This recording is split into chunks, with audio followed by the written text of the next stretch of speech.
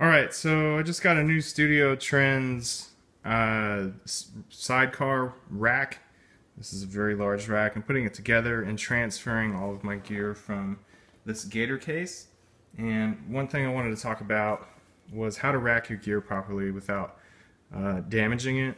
Because, I mean, we're talking about thousands of dollars worth of stuff and you, you know, you want to keep it as, as mint as possible. So one thing I do is I put tape on the uh, this is just regular packing tape all along the edge of the uh, of the rack, right?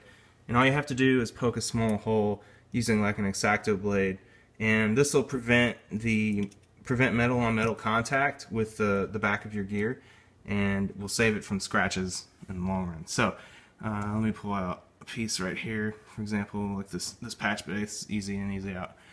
Um, and so there's no there's no damage here on the back of this. I don't know if you can see this in the light.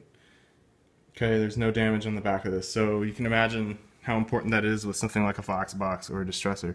So the other thing that I do, there's two more things that are important when racking gear, is I always rack mount the gear uh, with whatever I'm racking it to mounted sideways so that the gear goes in uh, with gravity, right?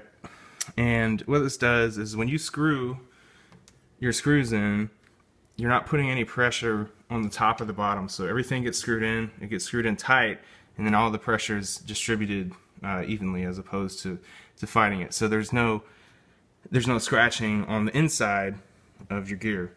And the very last thing is I use uh, these are the first screws that I got, and they're the Raxxess. Let me see. PTSW25 rack screws with washers. And these have like a like a plastic or, or, or rubber, yeah, it's plastic, like a soft plastic washer. And this pr protects the front of your gear, which is probably the most important part. And I have zero scratches, zero marring or anything on all of my gear. So those are my tips for that. Uh, hopefully you can save some of your gear and keep it mint for a long time. All right. Thanks for watching.